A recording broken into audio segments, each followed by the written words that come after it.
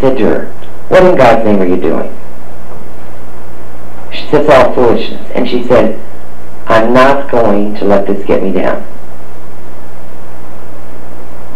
And she didn't. And she walked. Now, she walked with a limp, but she walked.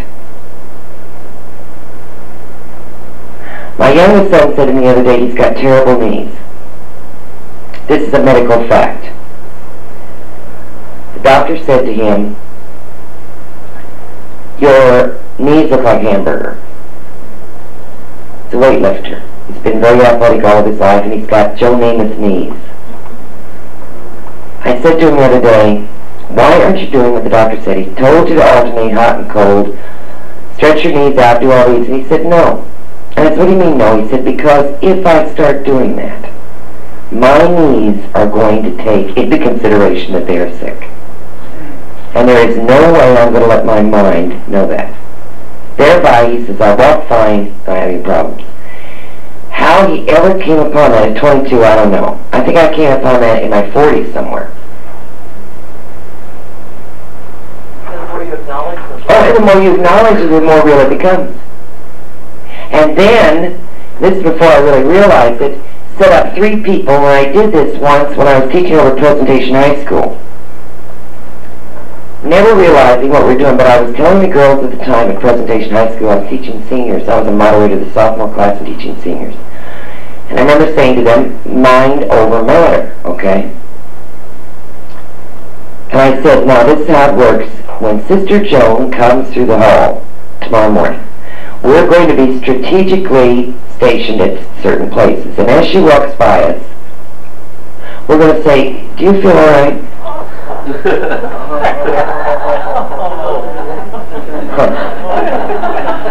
oh, I've never been sorry she was a bitch. Never been. I'm glad to this day. I've never had remorse, and I'll suffer for it another life, but I have been sorry. So, first girl, she came down the hall. First girl approached her and said, Sister Joan, did you get any sleep last night? Sister said, I don't know why. The girl said, oh, I don't know, sister, you just look so tired. Got to the next girl further down the hall, and the girl said, Sister, are you sick? Sister said, I don't think so. But I don't think I slept good last night.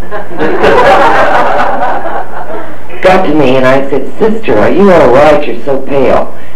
She got to her room and went down, back down the hall and checked out for the day. we programmed her right into it. Then having total guilt, waited a day. You know as I say a day. Called her up and told her what we did.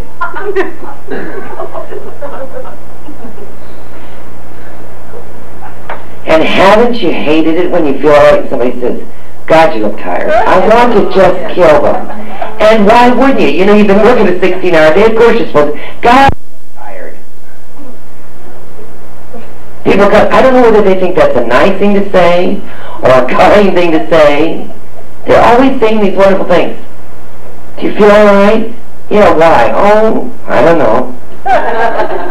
Which leaves you thinking, what? If I turn green, do I...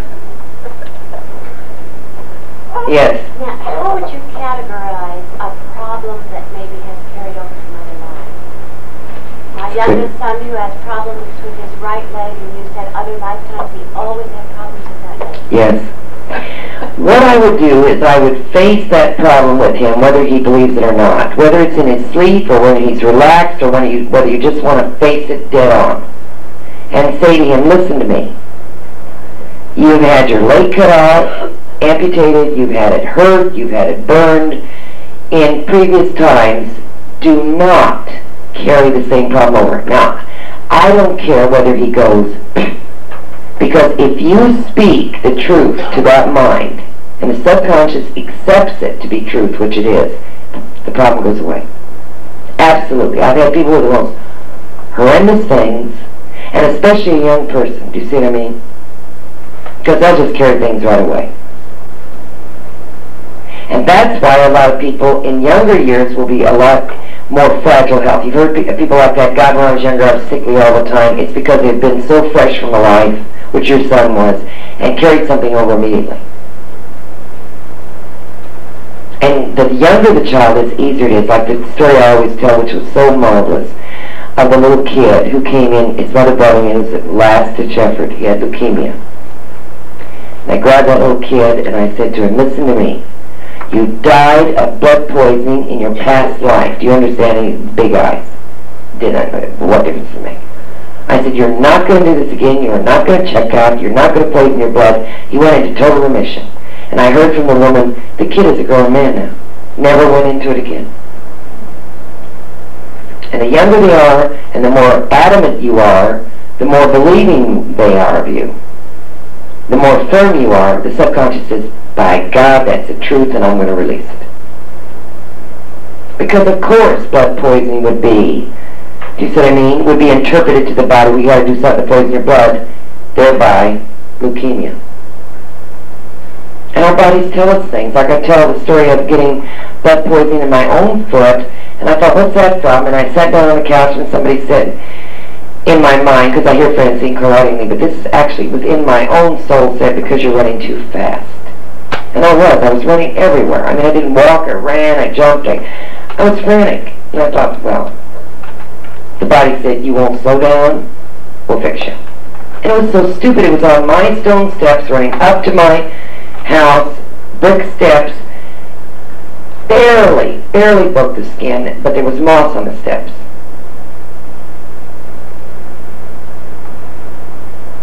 And any other time I could have cut it, fallen, broke, what, nothing, you're over with it. But at that point, and your body will tell you. Yes. Well, you mentioned that when we have negative thoughts, we should neutralize them. So how do you do this? Neutralizing takes the form, it's a good question, in many ways. In other words, take for instance that I, I give you a prime example, and I don't want to tell you too much personally about my life because it's not what you hear, but I can only tell you personally because I'm not going to tell you about every secret thing that goes on in the reading room, even though you don't know these people. But I've been mad at my oldest son for a couple of reasons, okay? And I let it sit, I let it sit. And that's not like me. So today I went downstairs, he works downstairs. Went into his office and said, come here, I want to see you. And just let him have it. So you just express what's on your mind and just get it out and forget it. Yeah. And if I can't do that, if I can't get a hold of the person, because it's usually always, I'm telling you right now, please listen to me, it's always a person. We may surround it in all the other butter that we can get around it, but it's always a person.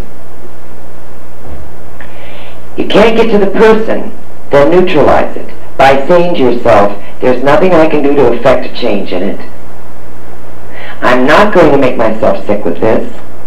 Who will know in a hundred years from now anyway? What difference does it make? I'll put my energy into something else. You see what I'm saying? How good does it do if I'm anxious about it? Won't things happen anyway? I mean, you've got to literally deprogram that. Yes? Um, Sylvia, what if it's not somebody else that's upsetting you? What if it's toward yourself? You just do the same thing? Oh, yeah. And most of the time, it's all our perception of things, isn't it?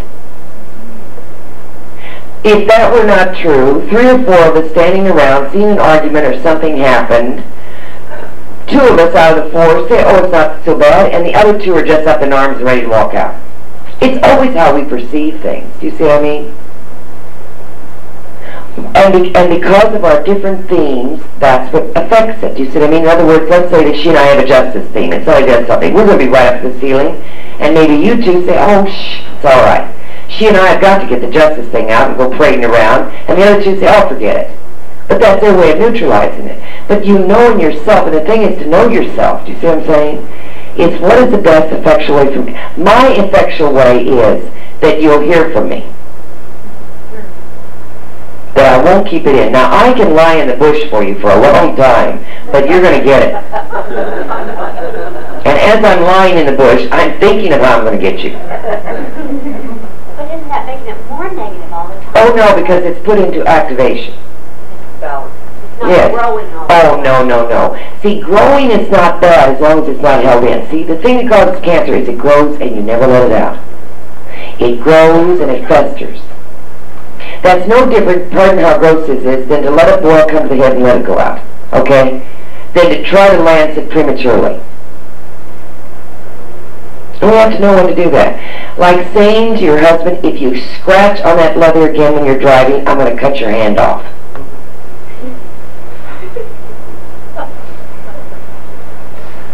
And my husband, when he's driving, has this thing that he does. That, you know, where the, uh, the gear shift thing is in the middle. Okay, as he's driving, he rubs that leather.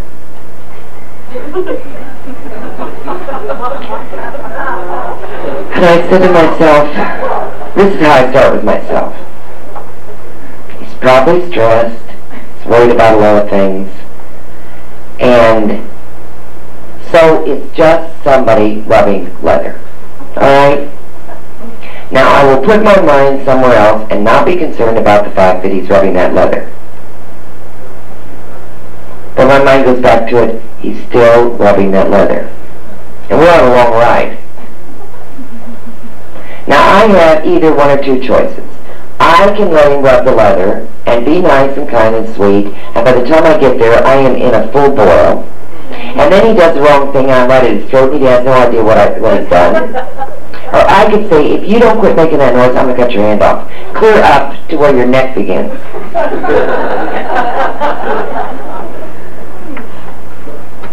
And that's a wonderful catharsis. It's last night, everybody was there. My son was bugging me all evening long. Bugged me, bugged me, drove me crazy.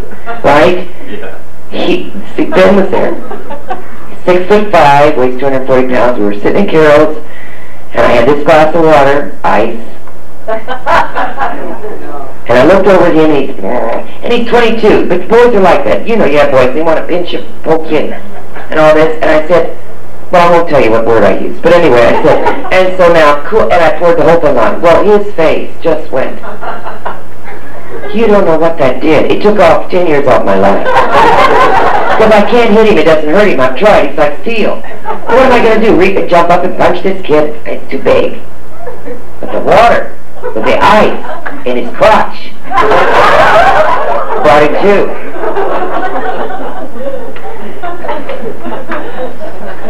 And that's wonderful. But see, people say, oh, I wouldn't have done that because that's embarrassing. Look, he's all wet. And, and yet you carry it around and it festers and it boils and everything. Why can't we say to someone, shut up? You know, shut up is a wonderful word, really. We say it through. No, it means shut up. Shut everything up. Shut it down, shut it up, shut it off.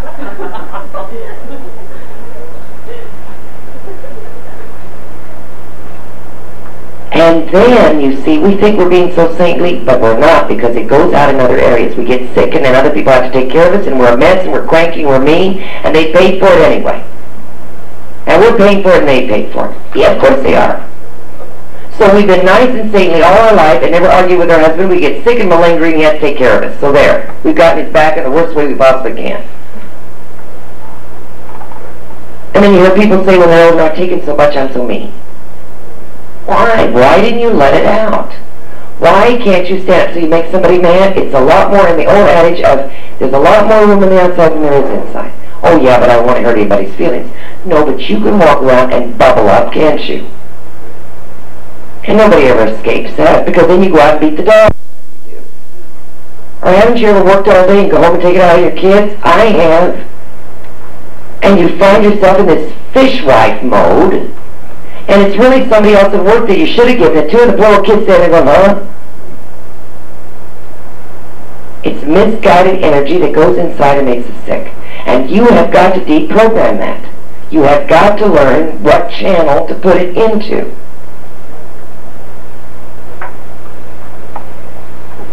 When you can't do that, much like what she was asking me, you neutralize it, you start asking yourself, well, I can't do anything about it, that's an impotent thing, I'll work it out, I'll go in the garden, I'll run around, whatever. I'll do something productive. But so many times those are rare, and so many times is actually a person, yes, but I'll hurt their feelings, I'll do this, I'll do that. And they won't like me. What's worse, you not liking you? And like she said, rejecting yourself. Then we don't like ourselves because we're a wimp. And we're all internal. And we're self-conscious. And that doesn't mean you're going to turn cruel or mean. In fact, what happens is you get healthier, you get more harmonious, you get more even disposition, you get more stable-minded. And when you deal with people, even through this week, and they start telling you about their aches and pains as people do, and that's good for them too, because we should ventilate. Ask them who's causing the pain in their neck. Say, who is the pain in your neck? Who is causing your chest problem? Who is causing your stomach problem? You would be amazed at the person. I said this to a woman in my room one day, and she said, my oldest daughter, just and then she went, like, how could she possibly have said that the pain in her neck was her daughter? What, you mean to tell me that kids can't cause you a pain in your heart, your back, your head? Or that a spouse, not even meaning to, can? Or mother and father can't? Do not, another thing to do before we take a break, do not identify yourself with another person. My mother had arthritis, thereby I will. Do not do that. You're programming yourself. My sister and brother have weak stomach, and so do I. No, do not do that.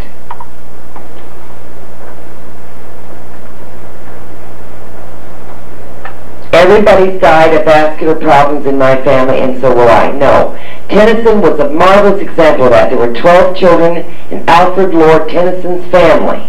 Eleven of them went totally insane except for him. Totally and completely insane except for him. And the reason why he didn't was because of his friend Alan who said, don't be ridiculous, come on, let's join the rowing team and quit being so silly and just quit thinking about yourself. And his friend died. And that's why he wrote In Memoriam. But what a testimony to you don't have to be what you're genetically presupposed to be. And he fought the depression all of his life because he knew he had a disposition for it. But he didn't go totally insane. Now that's quite statistics. 11, 12 children, 11 go crazy. I mean, that's like waiting for the night to fall.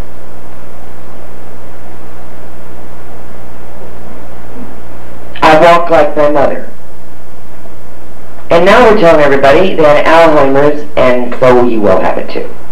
We've had Alzheimer's with us all through the centuries. Every one of us grew up in a block where old Mrs. Van Dyke or whoever it was was up the street and wandered off and acted goofy. It was just a thing of the neighborhood. We had old Mrs. Van Dyke, you probably had somebody. All of a sudden we make a big thing out of it. Did you ever notice that when Jaws came out, how many shark fights you heard of? Everybody was getting attacked by sharks. You heard any, uh, hear anything about shark bites anymore? No. The minute the world starts focusing on something, all of a sudden it's running rampant, isn't it? We didn't even know what the word was a few years back.